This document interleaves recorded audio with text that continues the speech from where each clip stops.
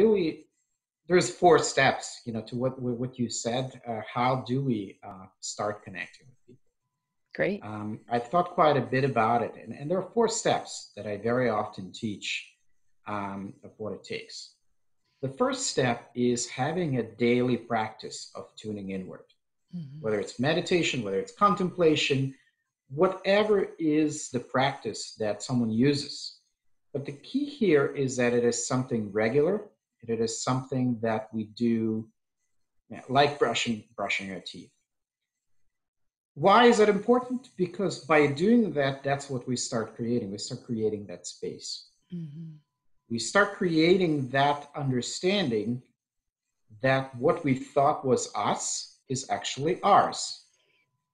So then we start asking deeper questions of ourselves. Well, what, what is this thing? Who am I? Um, and it takes practice to sit with the unknown, to sit in silence, to maintain these practices. And naturally, when we start doing these practices, the way that we are, changes. Mm-hmm. We start becoming more open, more tolerant, more curious, because we start realizing how little we know, how little we know about what this is. I think this second step is learning to observe without evaluating. You know, just about everything we say, if we really pay attention, is a conclusion, judgment, or label of some sort. And actually, the one of the be- first practices in terms of observation without evaluation is changing the way we listen.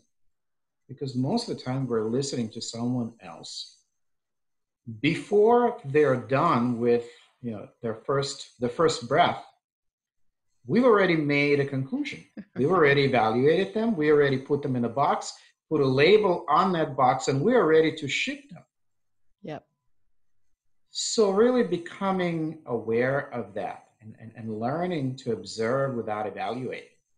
And actually, something um, something we talk quite a bit about active listening. You know, active listening is something that many people talk about. Very few people actually know how to do.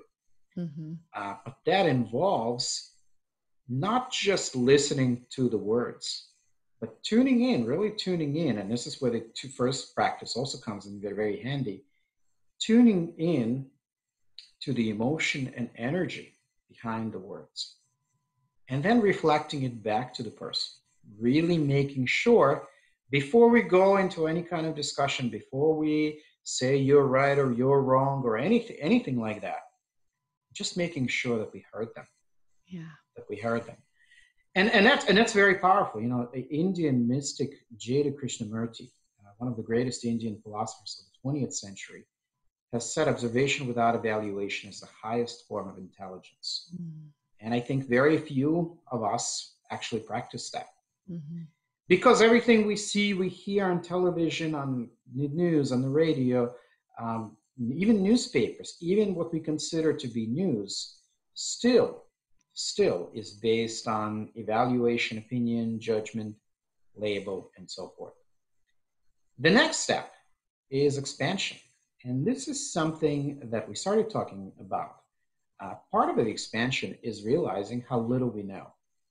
And mm-hmm. instead of connecting with our knowledge, beginning with connecting with our ignorance, with what we don't know. Mm-hmm. So, as a daily practice, replacing the words I know with I am open. I am open. If we could just try that, you know, anytime we want to mentally say, Oh, I know what the situation is about, I know what this person is about. If we can just shift and say, I'm open, I'm open. That's the first step of expansion. Now, the next step of expansion is moving beyond our positions. So, most of the time, when we disagree with someone, we start with positional statements. And that's the most superficial level on which we have a dialogue, on which we talk to each other. And when I teach this, I often use a, an image of an iceberg. And so on the iceberg, you know, the very tip of the iceberg is positions. Now, right underneath that are interests. Mm. For 25, 30 years, Harvard Negotiation Project was telling us that interest is kind of the end all and be all. And, and they were teaching interest based negotiations mm. and interest based conflict resolution. But I, I still think, in my experience, interests are still quite superficial level. It may be intellectually why we think something, we need to go much deeper. So the next level is emotion, energy in motion. That is behind our words. What are our words stirring within us? Or as Marshall Rosenberg, the founder of nonviolent communication, described, what is alive within us? Mm. As we are speaking these words, what is truly happening? What is happening within us? Really, really tuning in to that.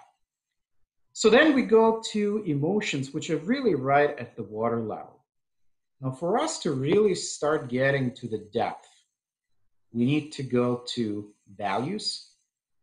And finally, and most importantly, we need to start connecting with the needs. Mm-hmm. And when we start connecting with the needs, no matter who we are, no matter what our political beliefs, no matter how differently we may look or live, our needs are identical. Yeah. We all have a need for security. We all have a need for autonomy. We all have a need for authenticity, yeah. for connection, for beauty, for meaning, and for expansion. Mm. And when we start connecting with those needs, the nature of the conversation changes. Yeah. And then the final step I'd like to mention is exploration. So, this is again shifting how we see conflicts and disagreements. What if we saw conflicts and disagreements as adventures, as mm-hmm. opportunities to explore,